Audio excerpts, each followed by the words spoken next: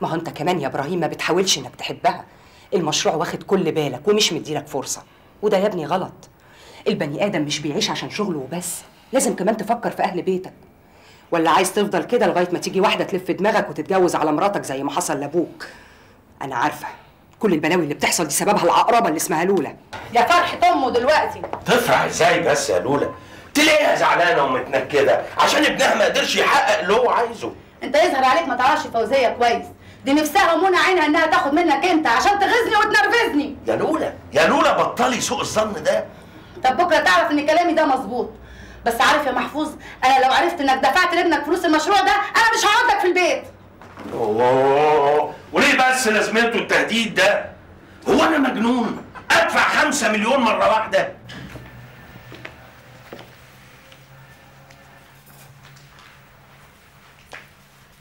إيه يا إبراهيم؟ انت هتفضل قاعد كده طول الليل. أنا مضايق في حاجة. لا ابدا. بس انت عايزني أشوفك كده وما تضايقش. انت بقالك أسبوعين على الحال ده. طب أعمل إيه يعني يا بهيرة؟ ما افكرش في مستقبلي.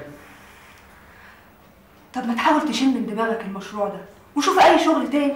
ما ينفعش يا طب هتعمل إيه يعني؟ هتموت نفسك. أقول لك. سيبك بقى من الشغل ومن التفكير وقوم معايا. قوم عشان تحاول تنام شوية. معلش يا بهيره سيبيني شوية أنا لسه عندي شوية شغل. على راحتك.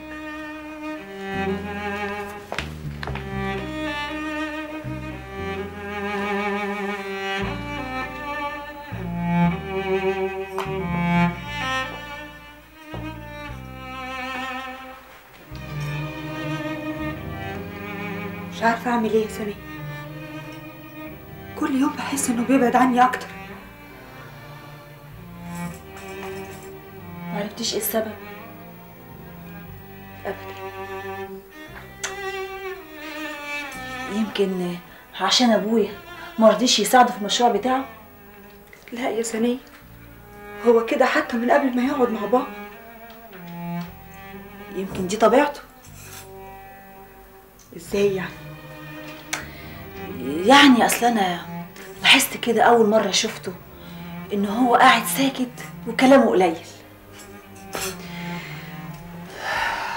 مش زي نبيل.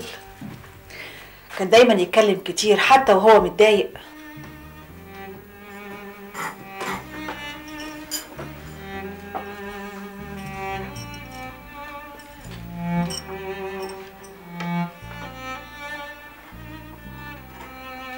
بس أنا مراته. لازم يتكلم معايا يحكي لي مشاكله. إنما اللي أنا شايفاه إنه على طول قاعد في البيت لوحده ودايما سرحان. خايفة يا سنية خايفة يكون اتجوزني غصب عنه. إيه الكلام ده؟ هو بنت؟ ده حتى البنات دلوقتي ما حدش يقدر يجوزهم غصب عنه.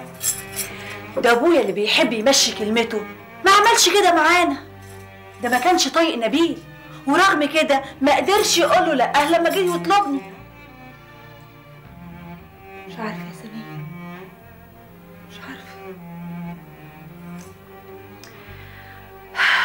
باين عليكي بتحبيها قوي.